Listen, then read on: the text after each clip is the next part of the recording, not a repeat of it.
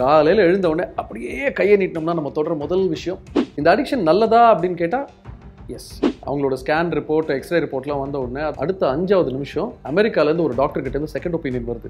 ஆனால் பத்து பைசா வாங்காமல் எதுக்கு ஒருத்தர் நல்லது பண்ணும் நமக்கு? ஓ நமக்கு தெரியாமல் நமக்கு பின்னாடி பல துரோகங்களை பண்ணிட்டு இருக்காங்க. இது நிறைய பேருக்கு தெரியாது. அது இல்லாமல் இருக்கவே முடியாது அப்படிங்கிற அளவுக்கு ஒரு இன்டிஸ்பென்சிபிள் என்டிட்டி ஆயிடுச்சு. பர்சனாலிட்டி மேப்பிங் இல்லைனா கேரக்டர் ப்ரொஃபைலிங் சொல்லுவாங்க. இதெல்லாம் அந்த காலத்தில் வந்து கிரிமினல்ஸ்க்கு மட்டும் தான் பண்ணுவாங்க. இப்போ நமக்கு பண்ணுறாங்க ஏன் நீங்கள் யாருக்கு ஓட்டு போடுறீங்க? உங்கள் பொலிட்டிக்கல் ப்ரிஃபரன்ஸ் என்னங்கிறது கூட அவனுக்கு தெரியும்.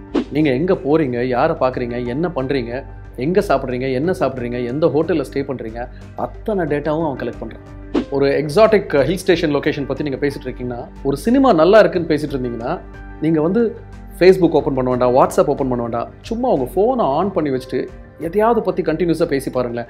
யார்கிட்ட பேசுகிறீங்க ஒரு நம்பரில் பேசிகிட்டு இருக்கீங்க. அந்த நம்பரை எடுத்து ட்ராக் பண்ணான்னா it is not just advertisement உங்களுடைய ஃபினான்ஷியல் டீலிங்ஸ் ஃபினான்ஷியல் டீட்டெயில்ஸ் உங்கள் bank passwords transaction records sometimes PIN numbers கூட இதெல்லாம் வெளியில் சுற்றிக்கிட்டு இருக்குது உங்கள் ஃபினான்ஷியல் டீட்டெயில்ஸை மொத்தமாக எடுத்துட முடியும். அதுக்கப்புறம் உங்கள் ஃபினான்ஸையே மொத்தமாக எடுத்துட முடியும்.